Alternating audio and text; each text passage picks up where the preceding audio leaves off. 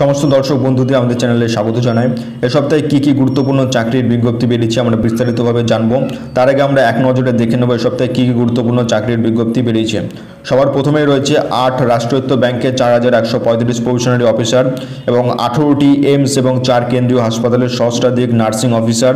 এছাড়া উত্তর মধ্য রেলে এক হাজার ছশো চৌষট্টি ট্রেড অ্যাপ্রেন্টিস, ইন্ডিয়ান অয়েলে এক হাজার নশো আটষট্টি অ্যাপ্রেন্টিস, এছাড়া ওয়েস্টার্ন কোলফিল্ডসে দুশো এগারো। সমস্ত গুরুত্বপূর্ণ চাকরির বিজ্ঞপ্তি আমরা এই ভিডিওতে বিস্তারিতভাবে আলোচনা করব।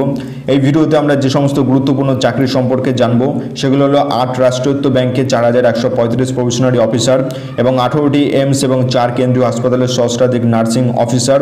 এছাড়া এর পাশাপাশি আমরা জানব ইন্ডিয়ান অয়েলে এক হাজার নশো আটষট্টি অ্যাপ্রেন্টিস। ভিডিওটি অবশ্যই শেষ পর্যন্ত দেখো আর যারা আমাদের চ্যানেলে নতুন ভিজিট করেছ, তারা প্রতি সপ্তাহে সরকারি চাকরির আপডেট পাওয়ার জন্য অবশ্যই আমাদের চ্যানেলটিকে সাবস্ক্রাইব করো।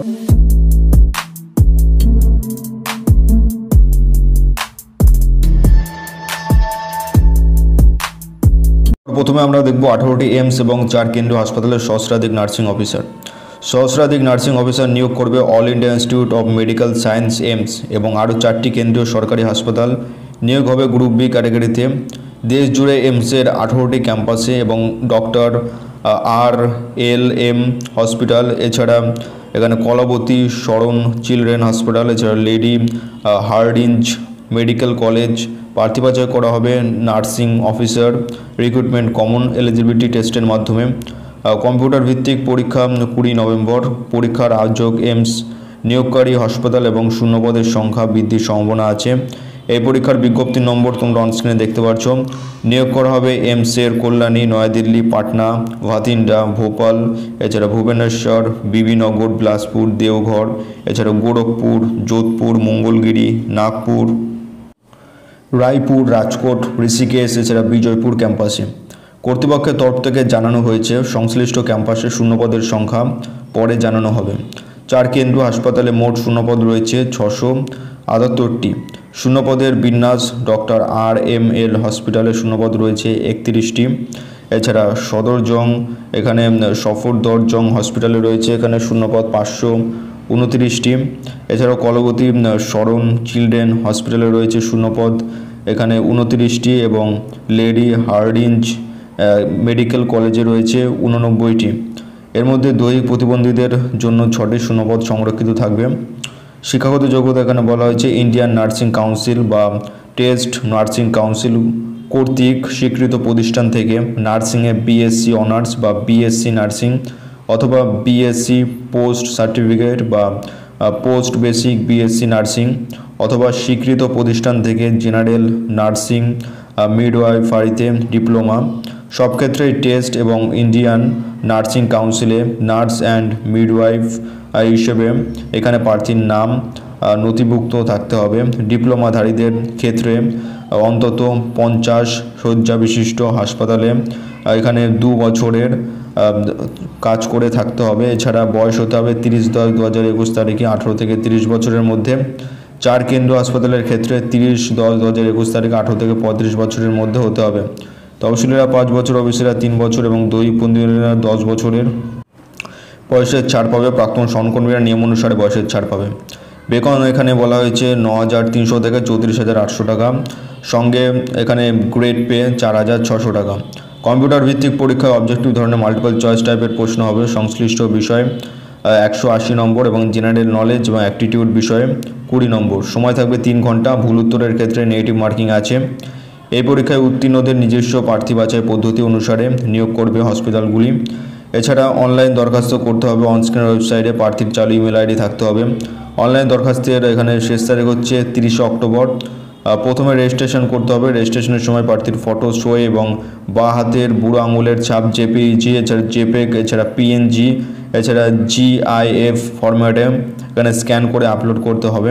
দরখাস্ত এখানে সংশোধন করা যাবে একত্রিশে অক্টোবর এবং একই নভেম্বর পর্যন্ত।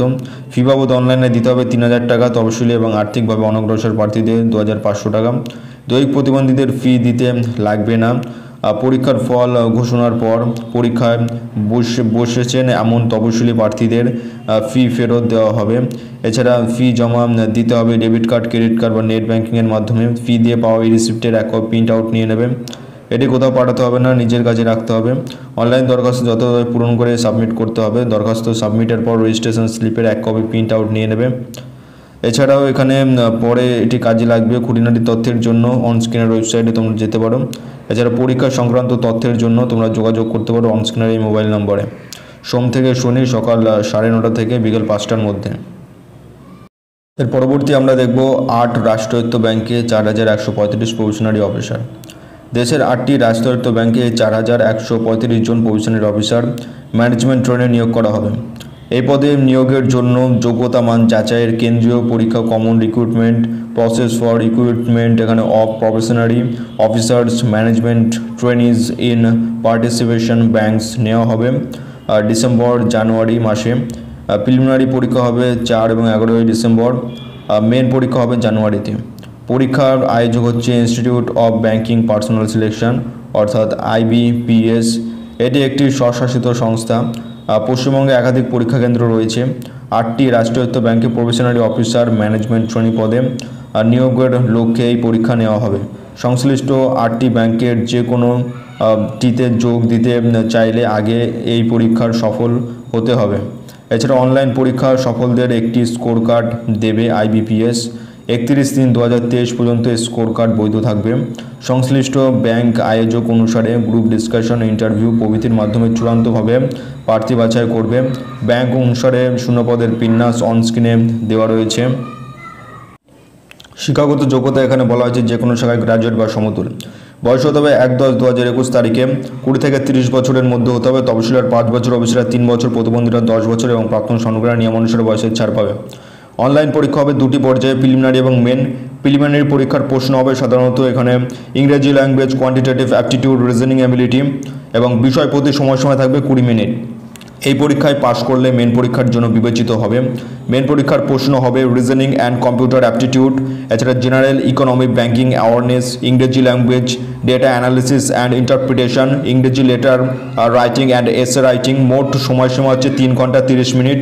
ভুল উত্তরের ক্ষেত্রে নেগেটিভ মার্কিং হবে। প্রতিটি ভুল উত্তরের জন্য অতিরিক্ত এক চতুর্থাংশ নম্বর কাটা হবে। পরীক্ষা হবে দেশ জুড়ে বিভিন্ন কেন্দ্রে। পশ্চিমবঙ্গের স্টেট কোড হচ্ছে ছেচল্লিশ। প্রিলিমিনারি পরীক্ষার কেন্দ্রগুলি হলো বৃহত্তর কলকাতা, শিলিগুড়ি, দুর্গাপুর, আসানসোল, হুগলি, কল্যাণী। মেন পরীক্ষার কেন্দ্রগুলো হলো বৃহত্তর কলকাতা এছাড়া আসানসোল কল্যাণী এবং শিলিগুড়ি। অনলাইন দরখাস্ত করতে হবে অনস্ক্রিনের ওয়েবসাইটের জন্য প্রার্থীর একটি চালু ইমেল আইডি থাকতে হবে। দশই নভেম্বর পর্যন্ত অনলাইন দরখাস্ত করা যাবে। মনে রাখবে, দরখাস্ত করার আগে নিজের ফটো সই এবং বা হাতের বুড়ো আঙুলের ছাপ স্ক্যান করে কম্পিউটারে রাখতে হবে। এছাড়া নিজের পাসপোর্ট মাপের একটি সাম্প্রতিক রঙিন ফটো কুড়ি থেকে দুশো থেকে দুশো তিরিশ পিক্সেল এবং কুড়ি থেকে পঞ্চাশ কেবি সাইজের মধ্যে হতে হবে। এটি সাদা কাগজে কালো কালির পেনে সই করতে হবে। এবং বাঁ হাতের বুড়ো আঙুলের ছাপ স্ক্যান করে কম্পিউটারে রাখতে হবে। সেই সঙ্গে নিজের হাতে লেখা একটি ঘোষণাটি স্ক্যান করে আপলোড করতে হবে। অনস্ক্রিনের এই প্যারাগ্রাফটি। ফটো এছাড়া আঙুলের ছাপ এবং শো এবং যাবতীয় নথিপত্র স্ক্যান করে জেপিইজি এবং জেপিইজি ফরম্যাটে সেভ সেভ করে এখানে আলাদা আলাদা ফাইলে অনলাইন দরখাস্ত যথাযথভাবে সাবমিট করার পর রেজিস্ট্রেশন নম্বর এবং পাসওয়ার্ড পাওয়া যাবে। অনলাইনে দরখাস্ত যথাযথভাবে পূরণ করে সাবমিটের পর পূরণ করা দরখাস্তের এক কপি প্রিন্ট আউট নিয়ে নেবে। এটি কোথাও পাঠাতে হবে না। এছাড়া পরীক্ষার ফি বাবদ দিতে হবে। অনলাইনে এখানে ফি পরিমাণ হচ্ছে আটশো পঞ্চাশ টাকা। তহসিলি দৈহিক প্রতিবন্ধীদের একশো পঁচাত্তর টাকা। অনলাইন ব্যবস্থা, debit card, RuPay, Visa, master, এছাড়া ক্রেডিট কার্ড, ইন্টারনেট ব্যাংকিং ইত্যাদির মাধ্যমে ফি জমা দেওয়া যাবে ফি জমা দেওয়ার পর system generate application form print নিয়ে নেবে। এটি কোথাও পাঠাতে হবে না, নিজের কাছে রাখবে এছাড়া খুঁটিনাটি তথ্যের জন্য। তোমরা অনস্ক্রিনের ওয়েবসাইটে যেতে পারো।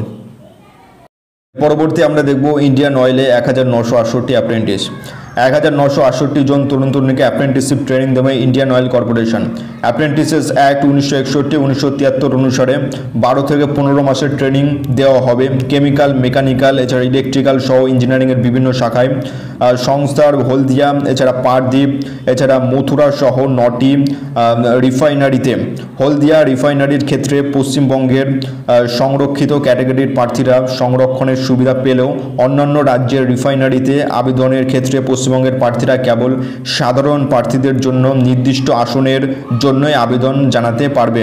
এখানে পশ্চিমবঙ্গের ক্ষেত্রে শূন্য আসনের বিস্তারিত বিন্যাস এবং অন্যান্য রাজ্যের কেবল সাধারণ প্রার্থীদের জন্য নির্দিষ্ট শূন্য আসনের কথায় জানানো হলো। প্রশিক্ষণ চলাকালীন নির্দিষ্ট হারে স্টাইপেন্ড পাওয়া যাবে। এখানে শাখা অনুসারে শূন্য আসনের বিবরণ, কোড নম্বর একশো এক, কেমিক্যাল ট্রেড অ্যাপ্রেন্টিস, এখানে অ্যাটেন্ডেন্ট আছে অপারেটর হলদিয়াতে রয়েছে পঞ্চাশটি এবং এখানে শূন্য পদের বিন্যাস দেওয়া রয়েছে। কোড অনুসারে তোমরা অনস্ক্রিনে দেখতে পাচ্ছ এখান থেকে তোমরা স্ক্রিনশট নিয়ে নিতে পারো। মনে রাখবেন প্রার্থী, যে কোনো একটি রিফাইনারি নির্দিষ্ট আসনে আবেদন করতে পারবে। বিষয় অনুসারে শিক্ষাগত যোগ্যতা এখানে বলা আছে টেকনিশিয়ান অ্যাপ্রেন্টিস মেকানিক্যাল শাখা এখানে ক্ষেত্রে মেকানিক্যাল ইঞ্জিনিয়ারিংয়ে ডিপ্লোমা। ইলেকট্রিক্যাল শাখার ক্ষেত্রে এখানে ইলেকট্রিক্যাল ইঞ্জিনিয়ারিংয়ে ডিপ্লোমা। ইনস্ট্রুমেন্টেশন শাখার ক্ষেত্রে ইনস্ট্রুমেন্ট, ইনস্ট্রুমেন্টেশন এছাড়া ইনস্ট্রুমেন্টেশন অ্যান্ড ইলেকট্রনিক্স বা ইনস্ট্রুমেন্টেশন অ্যান্ড কন্ট্রোল ইঞ্জিনিয়ারিংয়ে ডিপ্লোমা। কেমিক্যাল শাখার ক্ষেত্রে এখানে কেমিক্যাল বা রিফাইনারি অ্যান্ড পেট্রোকেমিক্যাল ইঞ্জিনিয়ারিংয়ের ডিপ্লোমা। ট্রেড অ্যাপ্রেন্টিস এখানে অ্যাটেন্ডেন্ট অপারেটর কেমিক্যাল প্লান্ট এবং ট্রেড অ্যাপ্রেন্টিস বয়লার শাখার ক্ষেত্রে ফিজিক্স, ম্যাথমেটিক্স, এছাড়া কেমিস্ট্রি, ইন্ডাস্ট্রিয়াল কেমিস্ট্রি সহ বিএসসি ট্রেড অ্যাপ্রেন্টিস ফিটার শাখার ক্ষেত্রে মাধ্যমিক সঙ্গে ফিটার ট্রেডে দু বছর মেয়াদের আইটিআই কোর্স পাস। এছাড়া সেক্রেটারিয়াল অ্যাপ্রেন্টিস শাখার ক্ষেত্রে বিএ বা বিএসসি বিকম, এছাড়া অ্যাকাউন্ট্যান্ট শাখার ক্ষেত্রে BCom. Data entry operator fresher apprentices শাখার ক্ষেত্রে উচ্চ মাধ্যমিক পাস। ডেটা এন্ট্রি অপারেটর শাখার ক্ষেত্রে উচ্চ মাধ্যমিক, সেই সঙ্গে ডোমেস্টিক ডেটা এন্ট্রি অপারেটর ট্রেডের স্কিল সার্টিফিকেট কোর্স পাস থাকতে হবে। সব ক্ষেত্রেই পঞ্চাশ শতাংশ তপশিলি দৈহিক প্রতিবন্ধীদের ক্ষেত্রে পঁয়তাল্লিশ শতাংশ নম্বর পেয়ে থাকতে হবে আইটিআই সার্টিফিকেটধারীরা পাঁচ নম্বর থাকলে আবেদন করতে পারবে।